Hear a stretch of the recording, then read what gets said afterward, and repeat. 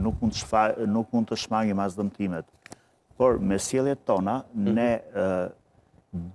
përpiqemi dhe duhet të përpiqemi që të korrigjojmë sa më shumë dëmet që këto sjellin në shëndetin tonë, pasojat. Po si e përmirësojmë ne për shembull mungesën? Pra mungesa e oksigjenit thoni ju është vjen Ka, është shkaktare edhe problemit të kujtesës afatshkurtër. Mungesa e oksigjenit vjen nga dëmtimet e kapaciteteve respiratore, mhm. të cilat vijnë si pasojë e duhanpirjes, e mhm. infeksioneve të ndryshme bakteriale, virusale, mhm. po virusale në përgjithësi, të cilat sjellin Dëmtim të gjithë trungut të bronkeve, bronkioleve, deri ke alveolet, hojzat e mushkrive. Mhm, mhm.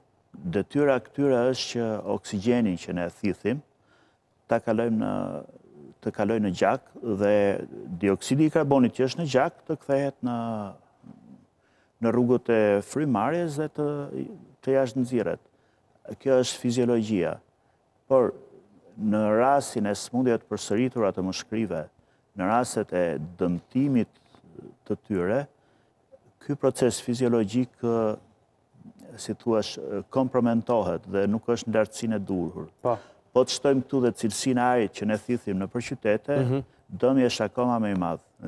Dhe kjo është ajo arsyeja që un kam thënë që dhe i porosis të gjithë miqtë, pacientët, se dhe pacientët i kam miq, mhm. që të programojnë gjithmonë shëtitje në natyrë, piknik, ecje, vrapime, realisht krahasuar me aktivitetet në palestra të mbyllura, me ajër të kondicionuar, po. ajër të cilin në e konsumojnë shumë njerëz dhe në palestra marrin pjesë kushdo dhe ato që kanë probleme po. infektive, po.